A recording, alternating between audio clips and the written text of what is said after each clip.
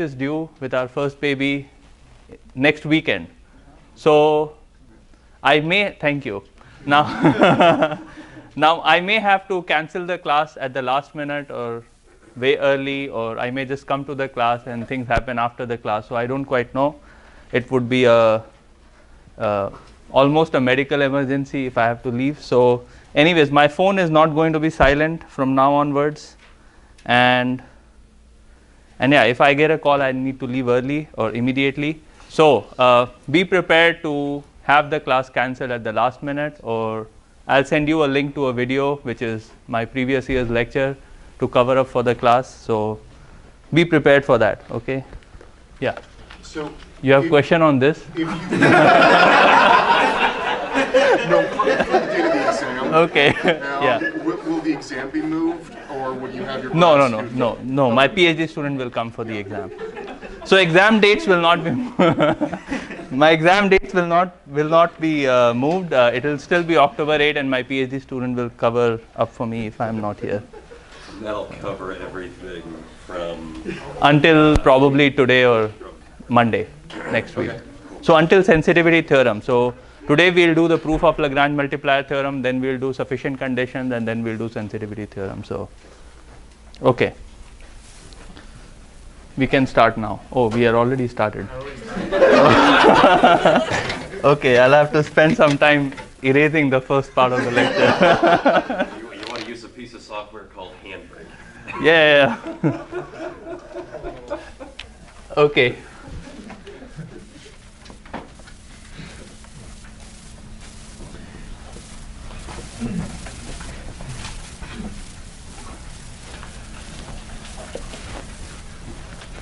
Okay, so we want to uh, prove the Lagrange multiplier theorem. So the theorem is x star optimal and regular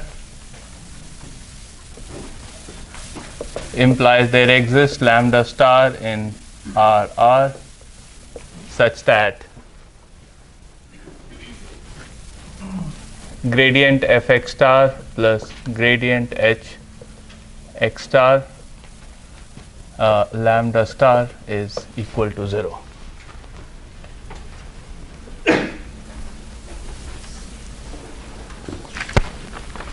Okay, and the problem we are trying to solve is minimize fx x in Rn such that hx is equal to 0.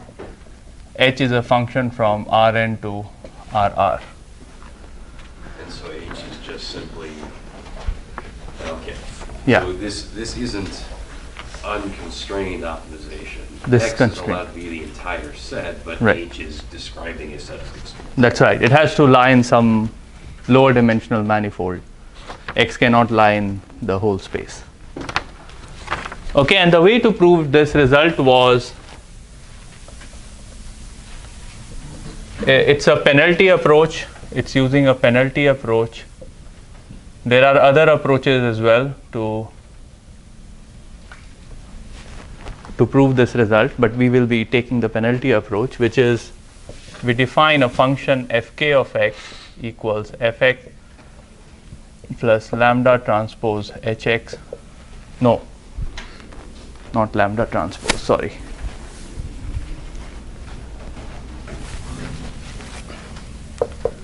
k over 2 norm of hx square plus alpha over 2 x minus x star square. Alpha is positive, k is a natural number, and I'm going to define a set S x in Rn such that x minus x star is less than epsilon. And I want to solve this problem, minimize x in S fk of x.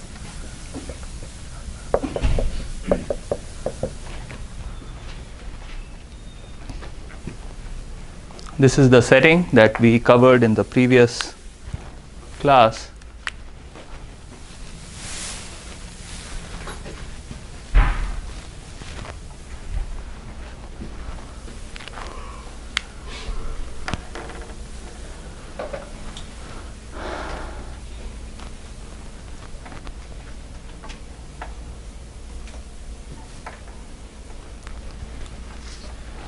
Okay. And so is K here our, uh, our time step, or is it some constant that he's chosen arbitrarily? So yeah, this is the okay. So this is something that uh, it's not a constant. Uh, we will we are considering a sequence of optimization problems, and we are going to look at the sequence of the optimal solutions to this optimization problems, and then we will study the properties of the sequence and prove that in fact xk star converges to this optimal x star under the assumption that x star is optimal and regular for the original optimization problem. Okay, so what do we know so far? So the first thing we know is x star is regular, which implies that gradient of h of x star in Rn cross R is full rank.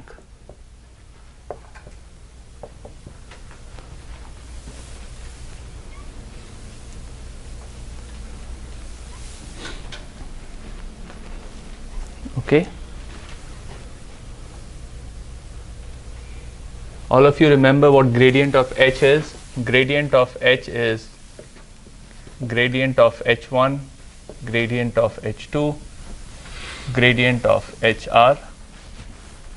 And we, we mentioned in the previous class that these gradients are all linearly independent at x star, uh, which is equivalent to saying that this matrix is full rank okay, has rank R.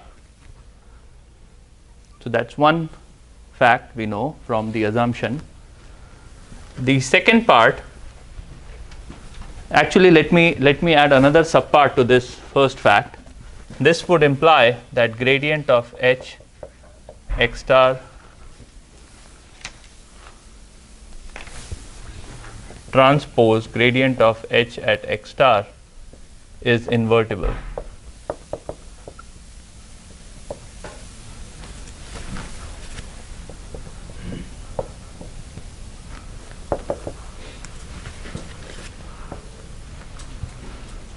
okay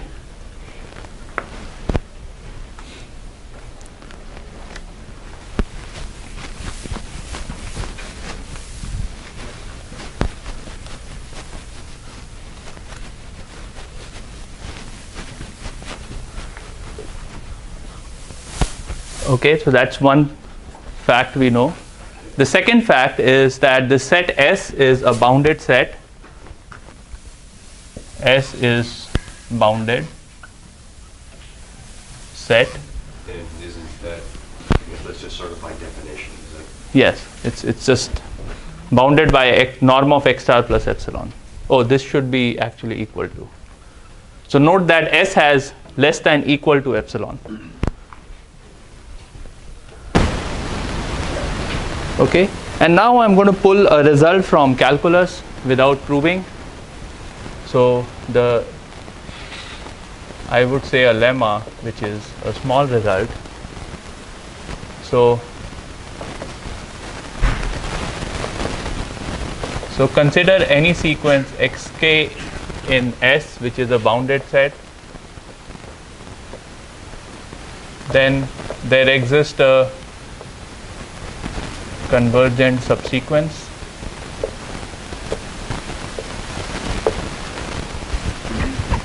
Okay so there is I can define xkn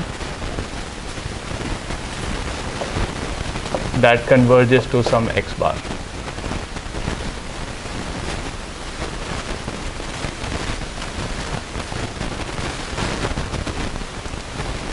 So that's one thing and the second part that can be proven using the first part is okay let's not well i'm thinking whether we should prove the second part. Let's prove the second part. So if the set of limit points of a sequence is uh, has one element has only one element.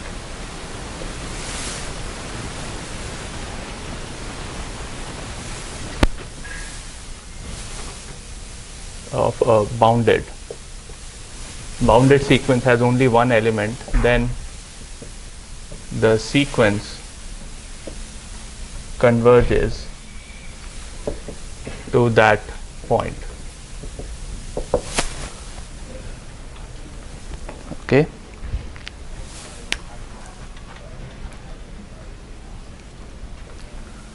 So what are the set of limit points? So I had considered a sequence and I could construct millions of subsequences, not millions, but infinite number of subsequences from the original sequence. And I can figure out whether those sequences actually converge or not. Okay? And the set of limit points is essentially the set of all points that can be converged to by considering a subsequence of the original sequence.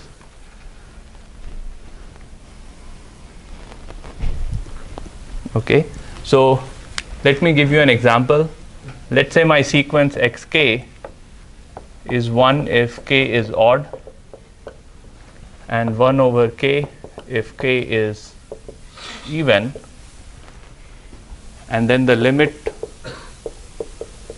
limit points of xk is equal to 1 and 0.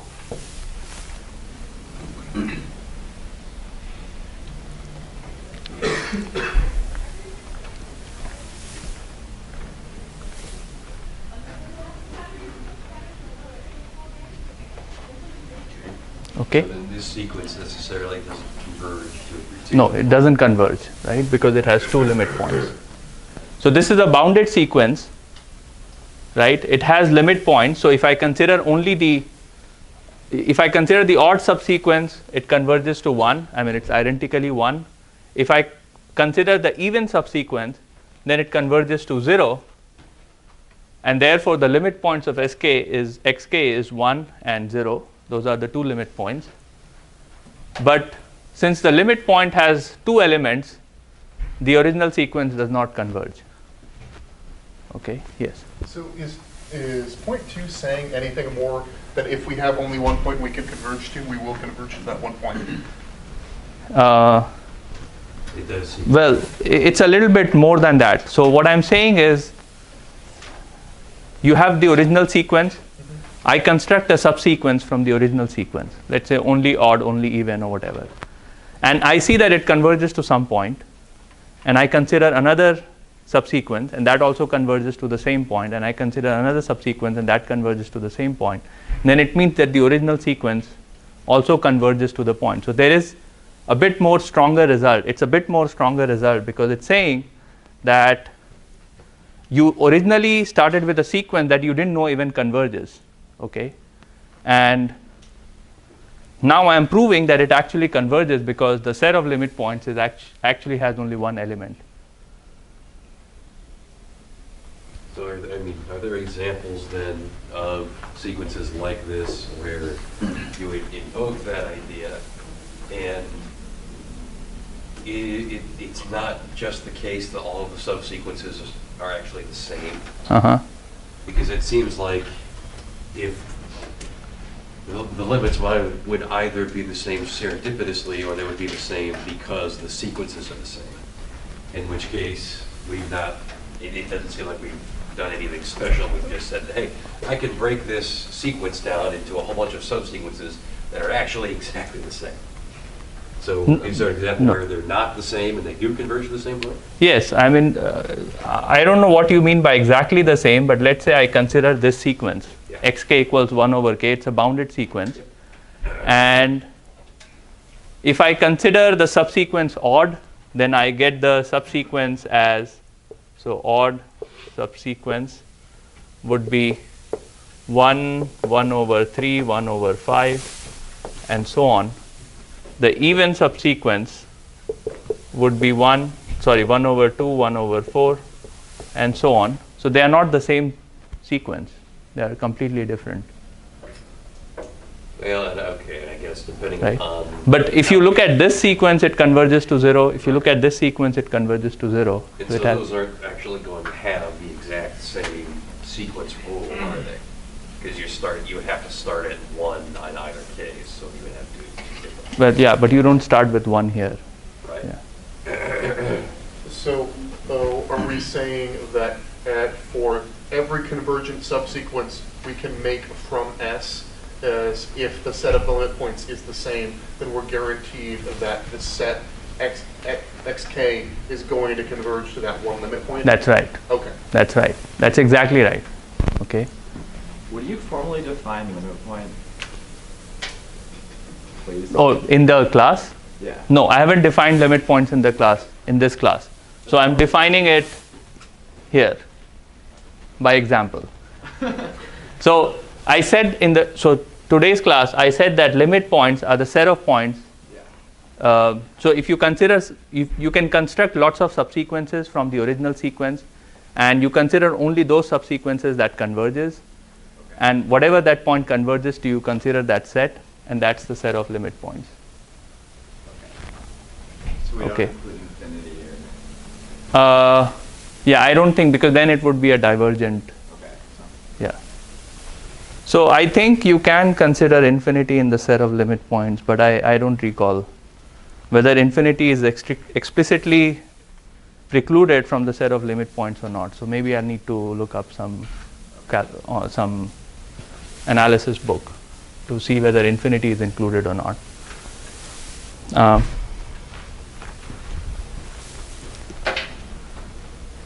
okay. Any other question? Yes. Yeah, what does the first letter mean? I don't understand the xk in, in x bar. Yeah, so what does the xkn do? On the first. Oh, xkn. So so k takes k takes values in integers, right? Yeah. So I can take kn to be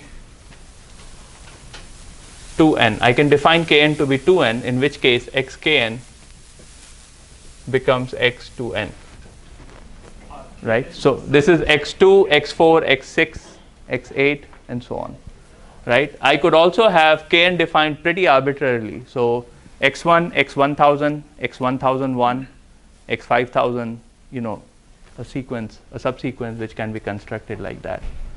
So kn is just saying that, so this is a subsequence, this is a subset of the original sequence, right? But it's not a finite subset, it's an infinite subset. So you're extracting some elements and then you are constructing a sequence out of it.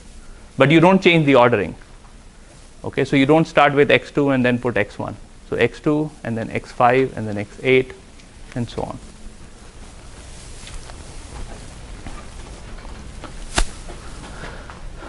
Okay, so I want you to uh, just remember these two facts from analysis because it's used in the proof. Uh, they are important. Uh, they are important results in analysis, but this is not a class in analysis, so you don't need to remember them for the exam. Okay, this is just being used for proving this result. Okay, any further question on this?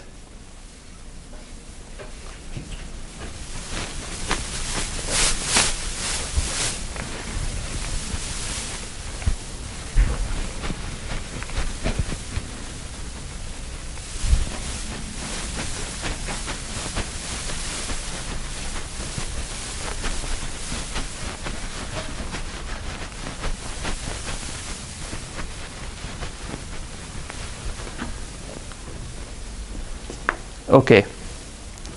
So the first result I want to prove is claim 1 limit norm of h of xk star equals to 0.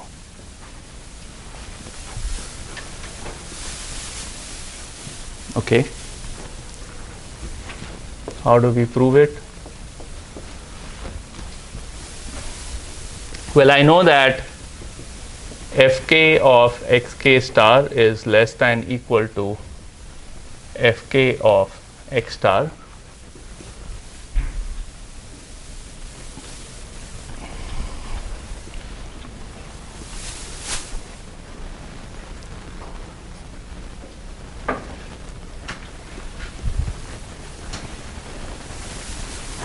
And fk of x star is equal to f of x star plus k over 2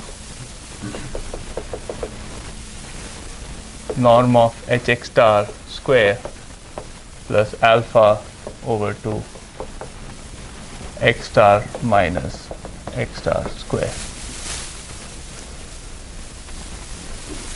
This is equal to 0. This is equal to 0. So all we are left with is fk of x star is equal to f evaluated at x star. Oh, yeah, this is x star.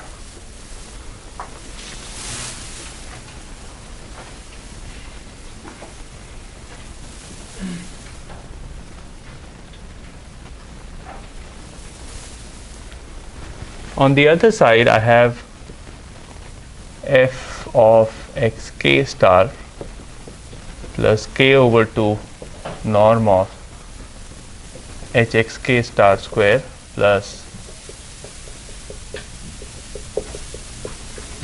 x star. Okay, so I have this inequality.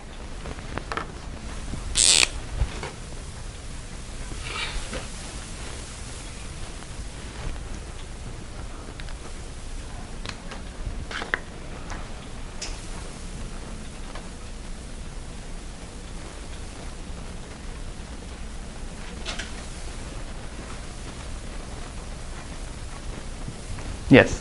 Why can we say that uh, the penalty piece is equal to zero? I get that the convexification piece is supposed to be equal to zero uh, by inspection over S, but how do we get that? This? Yes. So remember, this is x star is an optimal solution to this problem. So by definition, h of x star is equal to 0. Okay, that's why this is 0. So what do we infer from this? Okay, so I get that k over 2 h of xk star square is less than equal to f of x star minus f of xk star minus alpha over 2 xk minus x star square.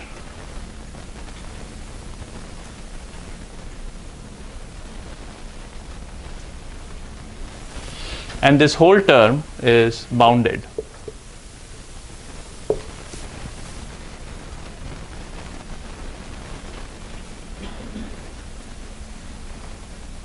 In what sense is it bounded? We know that x, So- mi- xk minus x star is bounded by epsilon. That's by epsilon. And we know that x star is the optimal solution. is optimal solution, so it has some value. And since xk star is in the neighborhood of x star, uh, this will also be bounded because you can't have a function that escapes to infinity within a ball of epsilon.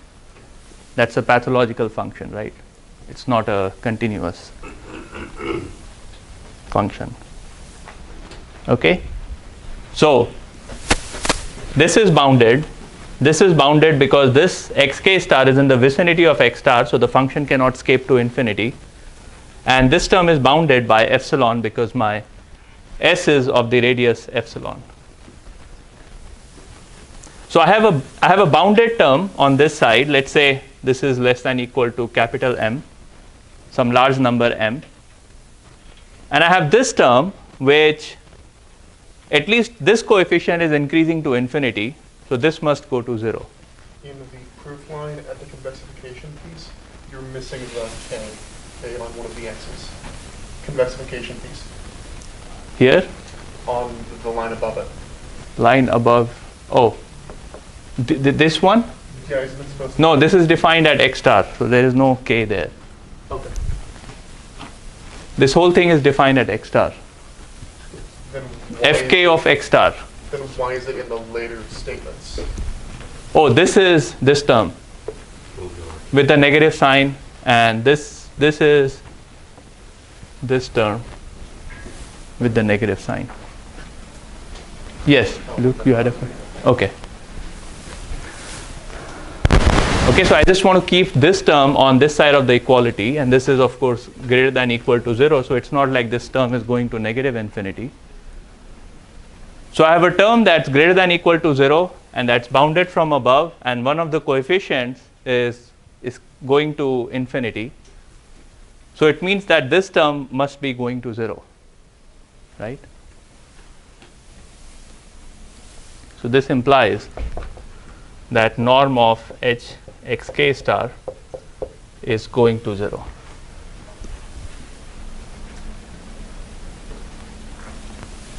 Okay.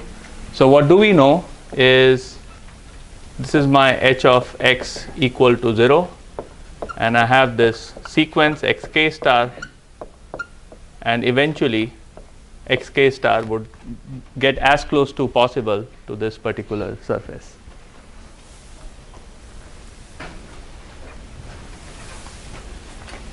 Okay, so that implies that x k star is in fact a solution to the original uh, problem. Not yet, Not yet. not yet. Okay, so I guess all that says is that it meets the condition. Yes. Now the next point that I want to make is claim 2. Where do I make it? Uh, let me make it on that side.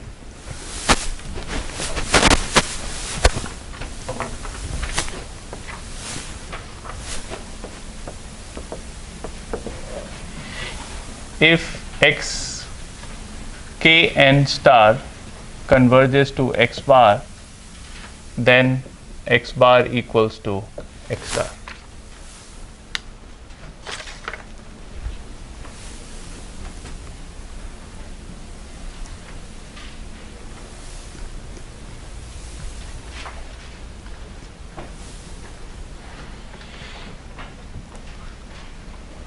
So if all of our possible subsequences converge to something, then that is necessarily the optimal solution. That's right.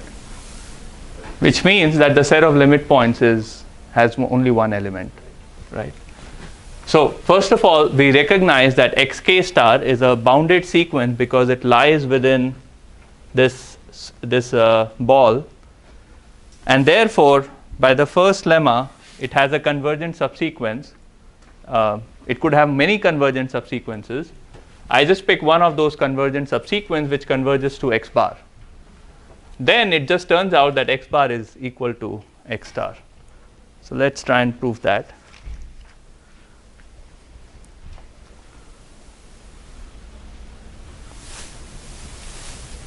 So I take the limit, so proof. I'm going to take the limit k going to infinity on this side of the equation and then on the other side I just have fx star. So I have f of x bar plus alpha over 2 x bar minus x star square is less than equal to f of x star.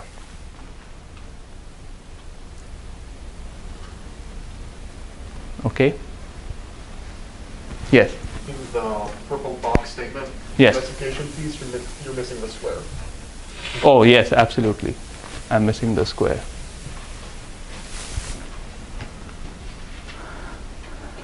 Did I miss square anywhere else? No.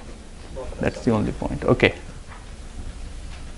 So from this purple box, I take k going to infinity. I know that this term is going to 0 that I just proved in claim 1. This term is going to 0. And so xk star or xnk star is going to x bar and this one is going to x bar. So I have fx bar plus alpha over 2 x bar minus x star square. That's less than equal to f of x star. But we said that f of x star is. That's right. Okay. Now remember that x bar, x bar, h of x bar is equal to 0. So x bar lies in this set, h of x equal to 0 set, and therefore f of x bar is greater than equal to f of x star.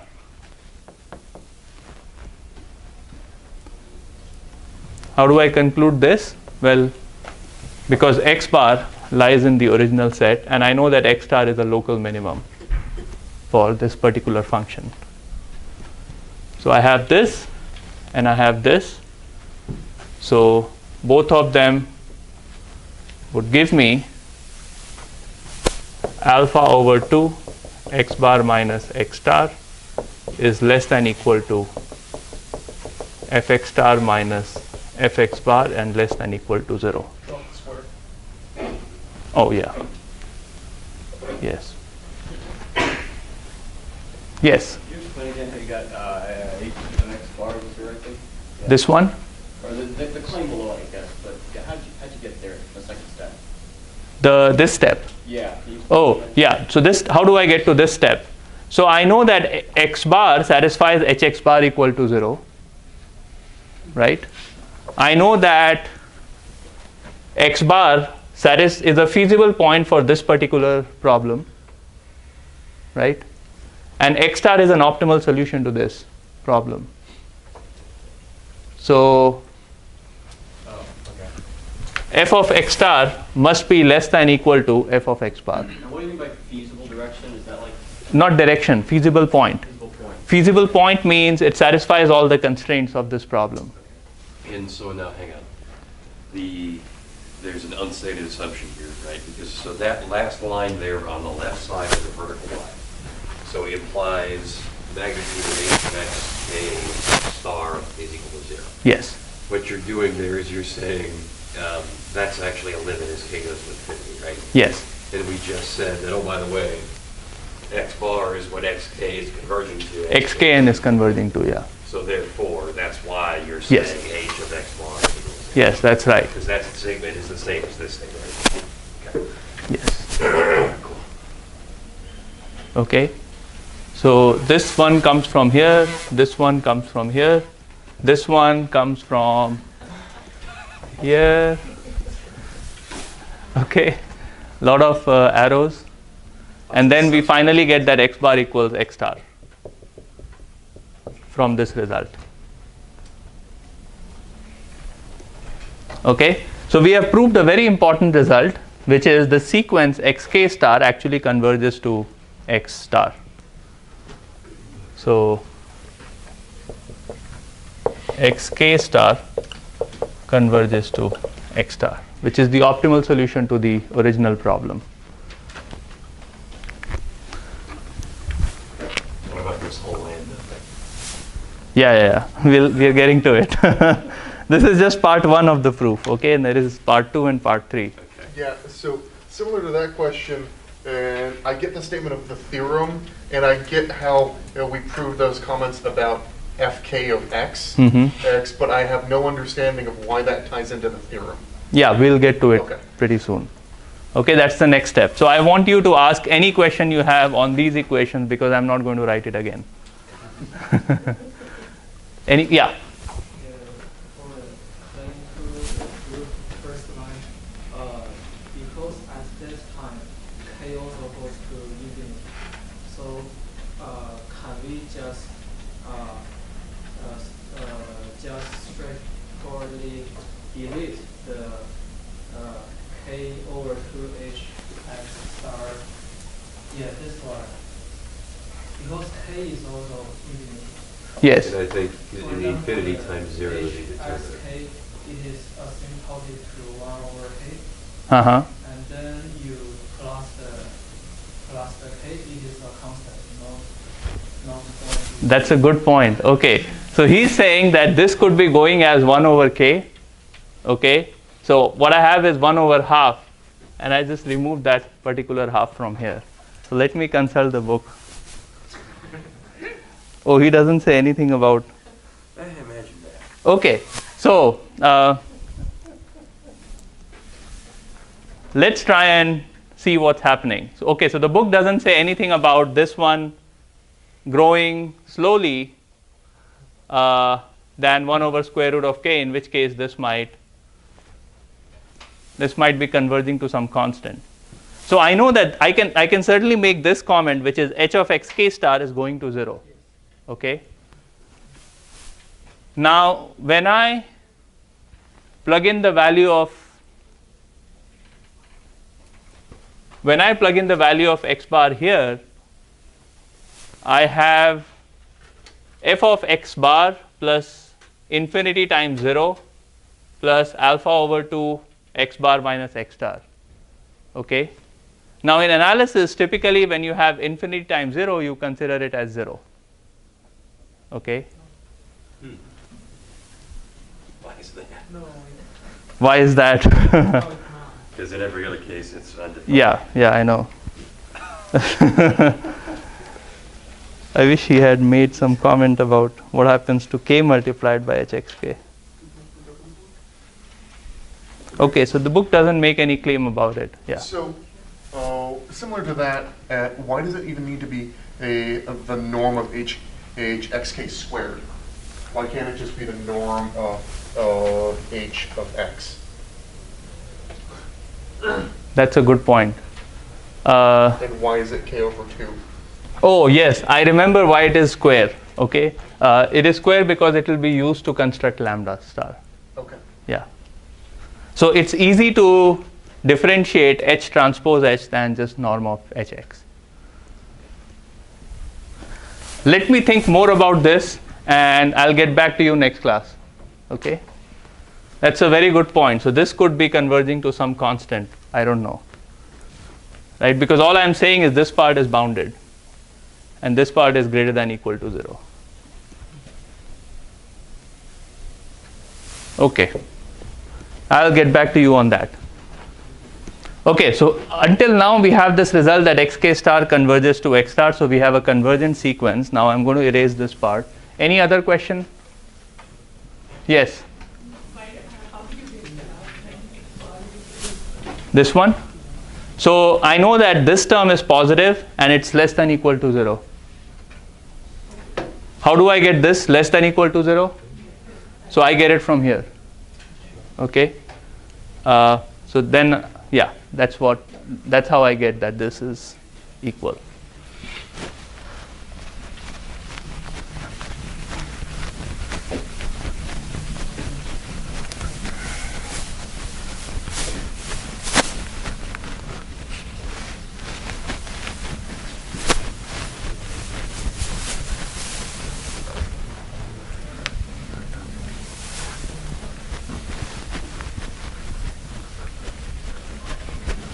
Okay.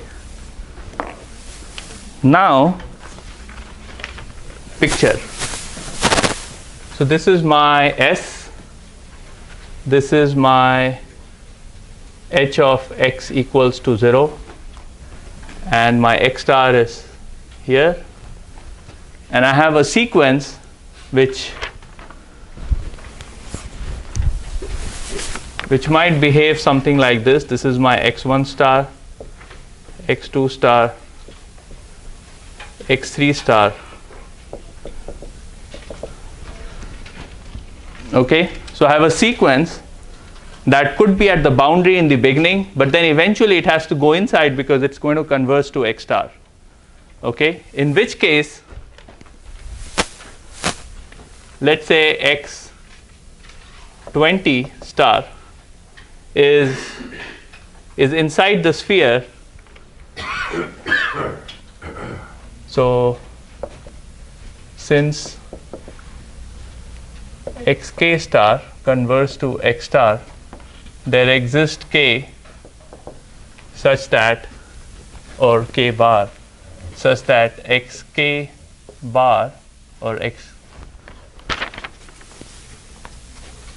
xk is in the set x minus x star less than epsilon over 2 for all k greater than equal to k bar.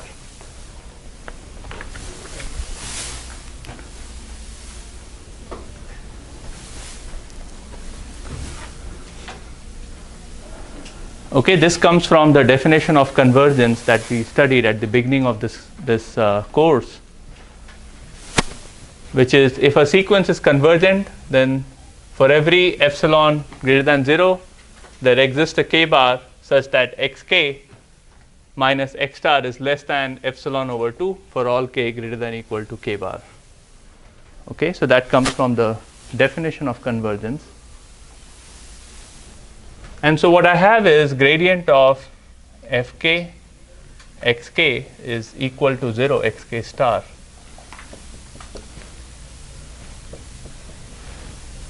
Is equal to 0 for all k greater than equal to k bar. Yes. Isn't that such that uh, at xk is an element of, of xk is an element of Rn such that that condition is true? Yeah. xk star is always an element of Rn. Okay. Yeah. Oh yeah, I, this is a short form of writing the set. I'm just becoming lazier and lazier as class progresses.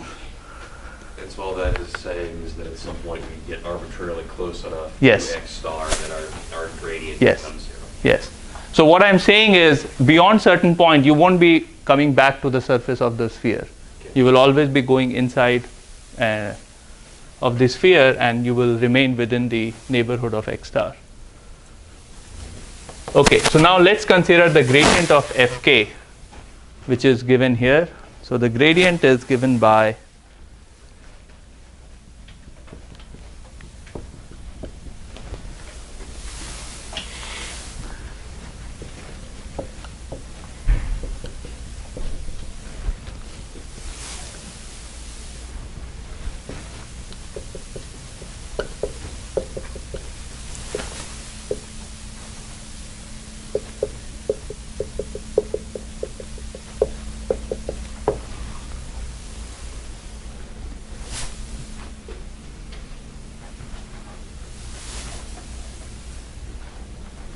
okay so that's the gradient of fk.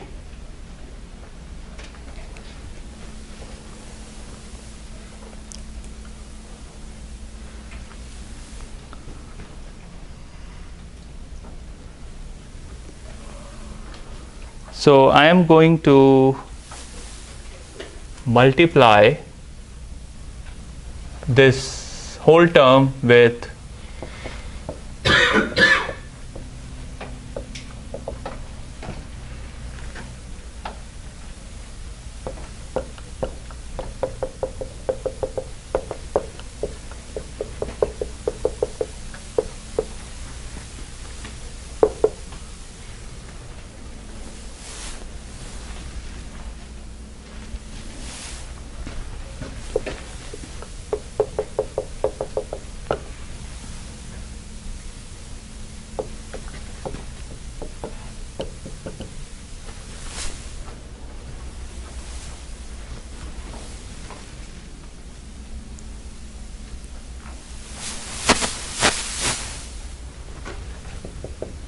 I have let me call this mk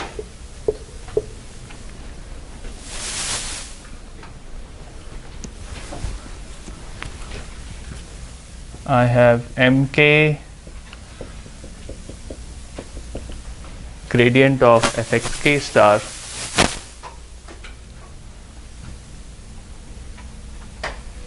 Plus kh xk star plus alpha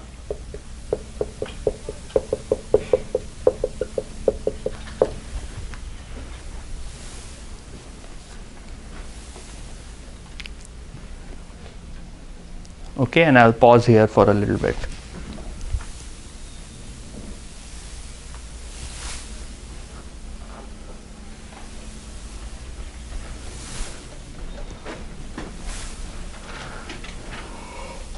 Okay, so I multiply both the sides by this matrix. Now you would argue or you would ask, why is this matrix invertible? Well, because xk is in the neighborhood of x star, and since this matrix is invertible, so this matrix is also invertible.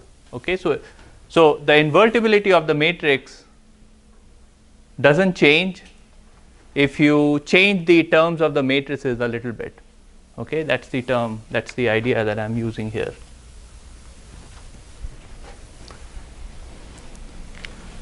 Now, why was it important that we did that Oh, so I get uh, this term, on its own? right, k of hx k star, and then I have this term.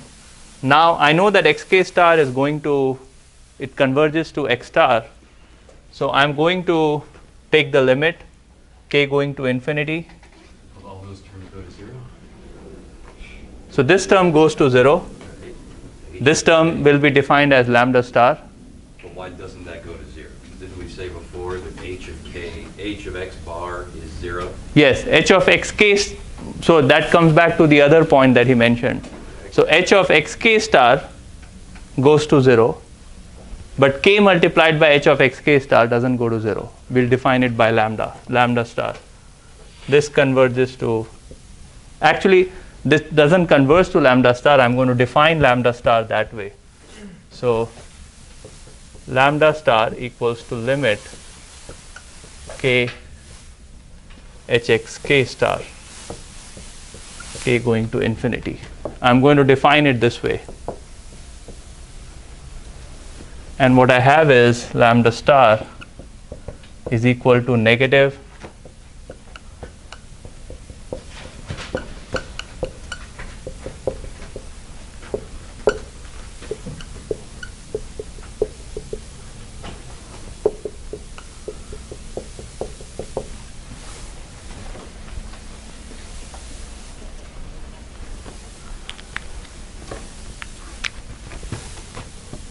Why are those no longer xk stars? What happened to this xk star?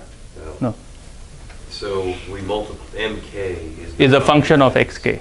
Right. So Yeah. Why are, why are, I don't see any xk stars in that answer. Why are there not any xk stars? So I took the limit k going to infinity in this equation. Okay? And we just, This is defined as lambda star. yes. This term goes to 0 because xk star converges to x star. So we're, we're, we're just doing that right there. Right. Okay. Got it.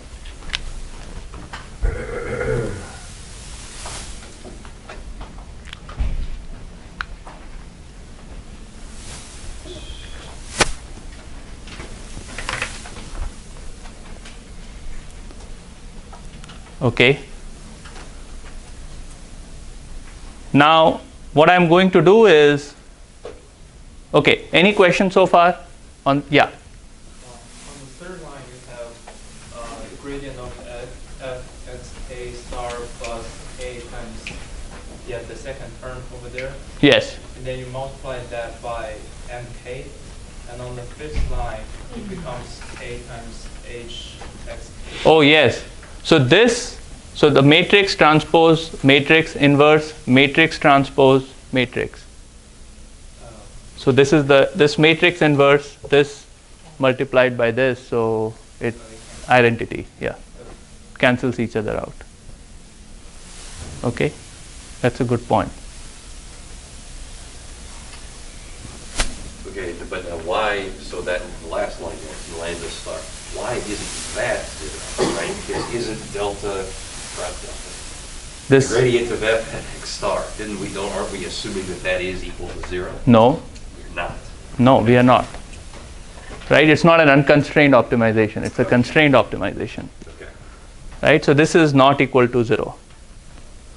Um, so we get lambda star. Now I'm going to substitute lambda star in this expression. Okay, and I'll let k go to infinity. So let's do that. That's the final step of the proof. So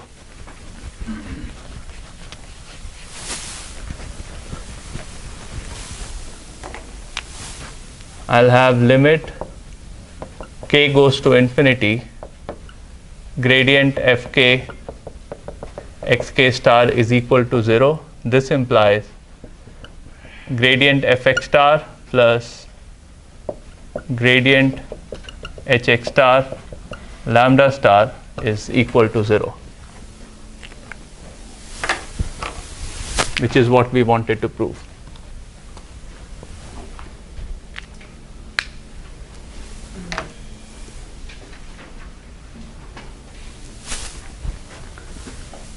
Okay, that's the final step of the proof.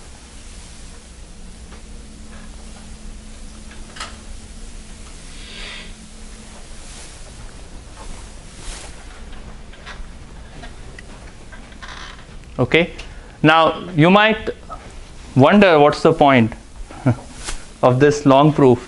So, this is typically the way optimization proofs work. Okay, I just wanted to give you a preview of how to prove things in optimization. Uh, this is, of course, one of the celebrated results. So we should, if you're studying optimization, we should probably have an idea about how the proof goes.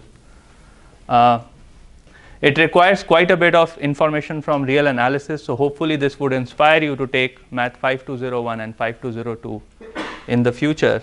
And many students who have taken optimization have gone on to take those two courses because it's very useful in understanding some of these techniques in optimization. Okay.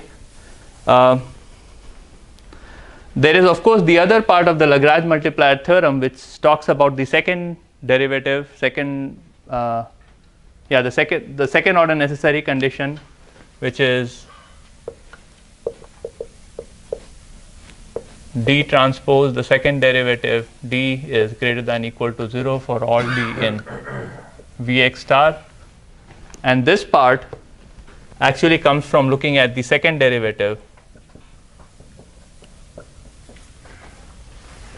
from this uh, second derivative of fk being being uh, positive semi-definite. So you can use this result to prove the second derivative, second order necessary conditions for optimality. Okay, so we will we will pause here. It's 2:45 already, and then I'll take questions offline, and then we will continue our discussion on this topic on Monday. Have a good weekend. So, uh, since it's positive semi-definite,